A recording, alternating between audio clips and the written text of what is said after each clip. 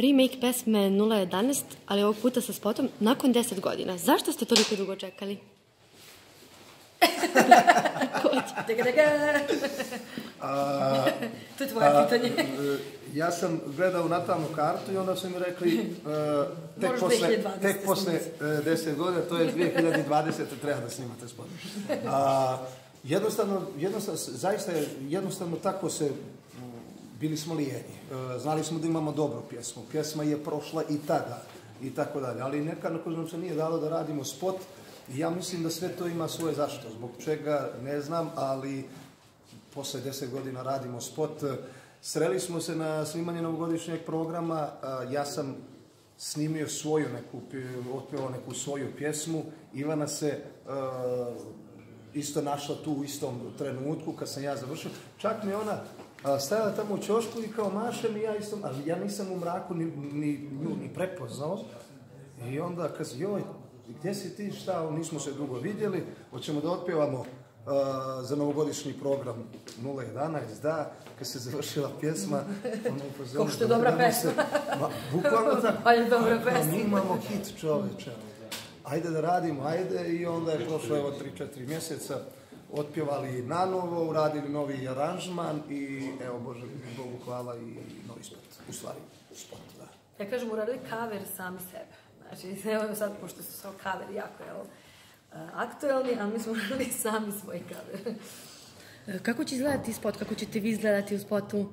Pa, meni je bilo najbitnije, naravno, i Bobanu, kad smo pričali šta ćemo, uh, pošto se zove pesma 011, mora biti snimana u Beogradu, i to negde na polju.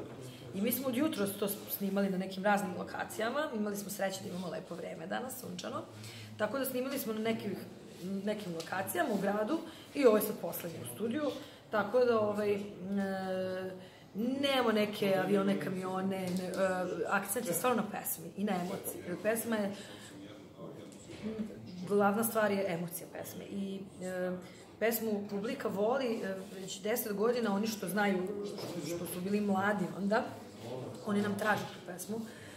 Iako ja često ono kao, joj, kao, pa nemam pojma, da bi band skinuo, nije, iskreno, što kaže Boban, ma, zapostavili smo odličnu pesmu. Sad kad smo otpevali i kad je publika u studiju dala aplauz, shvatili smo da, da imamo stvarno vrhunsku pesmu i da, i da možda i nije loše što je sad ponovo snimamo, jer oni koji su tad bili jako mladi, tipa imali su 5 godina ili 10, sad imaju 15 ili 20 i to je sad ta neka nova publika i trebala bi ponovo da je čuje. Jer mnogo koji su tad bili mladi ni ne znaju tu pesmu.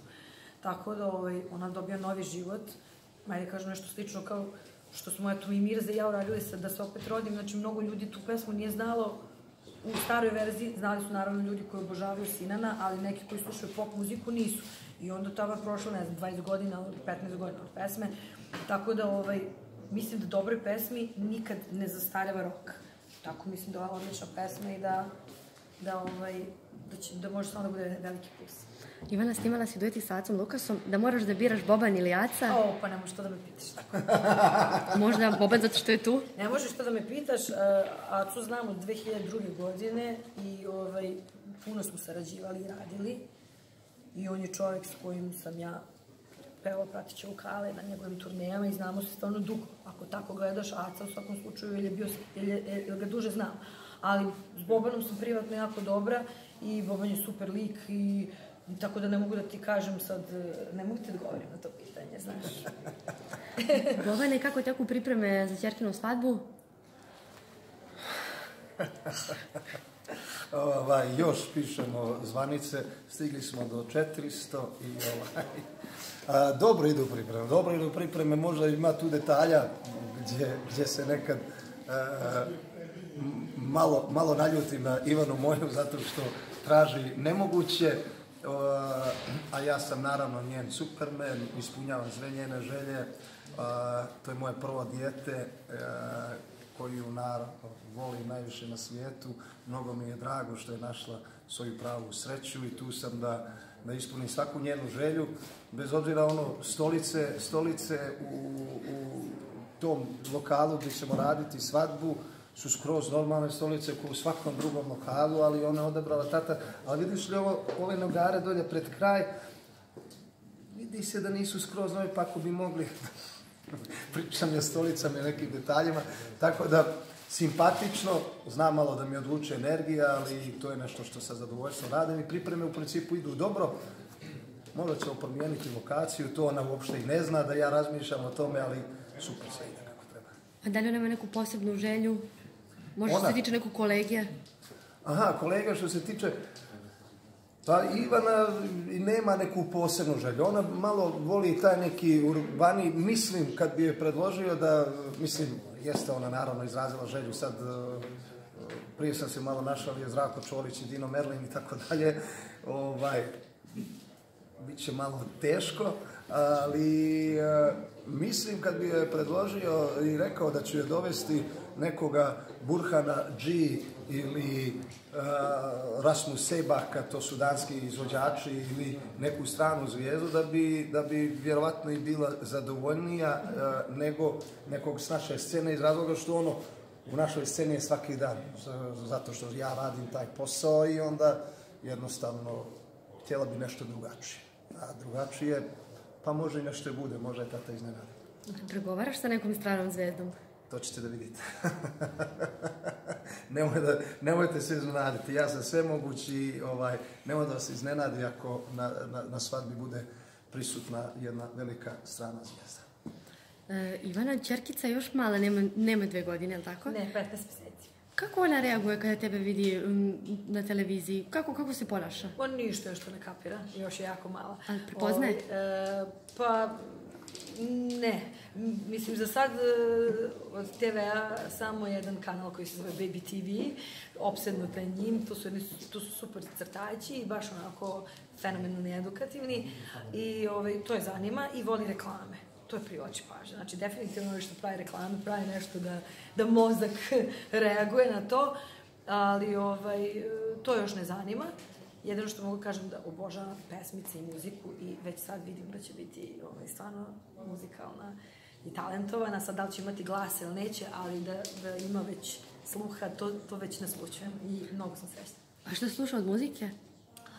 Pa slušao ako razbole se lisica, e, znam ceo repertoar, znači vuče vuče bobolenja, džiha džiha i, i tako, mogu se do preko strane nabrajam jedno 50 dečih pesama. E, Nedavno je održana Beovizija, Hurricane će nas predstavljati na Eurosongu. E, Kako vi mišljenje imate? Da li ja sam zaspao, tako da nisam stigao da šalim se. Gledao sam, gledao sam, ne, zaista imao sam obavez, ali drago mi je što sam stigao e, i stvarno sam, pardon, malo požurio čak i kući, jer mi je bilo e, interesantno da vidim kako sve teče i onda sam stigao i mislim iskreno da, da je baš pravi odabir. A, što je rekla Ivana malo prije, koliko ćemo, ko, koje ćemo mjesto zauzeti na Eurosongu i to nisam siguran, ali a, među svim izvođačima, čast svim kolegama, bilo je tu super izvođača i dobrih pjesama i sve to, ali mislim da je baš pravi odabir. A, I lijepe su cure, i super jesenski nastup, i dobro pjevaju, pa čak mislim da sve tri barataju super a, stranim jezikom, engleskim ili šta li već. I, i stvarno mislim da, da su super odabir i te tri cure kako su se pojavile na našoj sceni, ja sam neko ko, ko navija za njih zato što dugo nismo imali tako nešto i zaista od sveg, sveg srca želim da naprave nešto veliko, a velike su šanse. Isto, isto sam ovaj, malo pre ovaj, jednom tvom kolegi to rekla, da um, imamo napokon brzu stvar, o, imamo energičnu, dobru stvar, 30 godine devojke, atraktivne, ovaj, koje dobro pevaju i mislim da u, u moru balada koje smo slali u poslednje vreme, što očigledno se pokazalo da nije baš dobitna kombinacija za Eurosong. Eurosong traži ono šljašt, da pršti, da, da, da je to spektakl. Mada u poslednje vreme su neke čudne pesme pobeđivale i, i na Eurosongu, ali ovaj, mislim da imamo, imamo velike šanse za nešto. E sad, da, sad prvo, drugo, treće, ne znam, ali da se prikažemo makar u nekom novom svetlu u kakvom su do sad nismo pokazivali kao zemlja, što da ne, meni, su, meni se izbor dopada. E, Pevači često putuju, svet strahuje od koronavirusa. Da li se vas dvoje plašite? Ma, ja ne, ja zaista ne. Ovaj, meni, je- meni je to smiješno, mada uh, možda Ivana i više može o tome da priča, pošto se ja se ovdje doselio Beogradu što se tiče, tiče 2000. odmah posle bombardovanja. Mi smo narod koji je proživio sve moguće sankcije i bombardovanje i ne znam šta, sad da se plašimo nekog viruščića maloga. ovaj, ne, zaista ja ne razmišljam o tome. I čak mi malo ta priča malo i dosadila, jer svi pričaju o tome, svaki kanal koji je god koronavirus, koronavirus, tako da ne znam, nisam adekvatan i možda će posle ove izjave ljudi ono, gledati me čudno, ali ja ništa tu ne pridajem nikakvog značaja. Pa ja sam sad pred nekoliko dana doputovala iz Azije i ovaj, svi su mi rekli, ko ideš u Aziju, kao tamo, ludilo. Ja rekao, ja sam ljudi uplatila, ja sad to ne otkazujem nikako. Ovaj, e, na aerodromima svi nose apsolutno maske. E, imali smo presedanje u Dohi, apsolutno svi radnici, svi putnici nose maske. Mi smo, ja mislim da smo mi bili jedini među redkima koji nismo imali maske. I onako vrlo je neprijatan osjećaj, kao u filmovima onim, kad, o virusima, zombijima i to, vrlo je neprijatan osjećaj kad vidiš da svi nose one maske.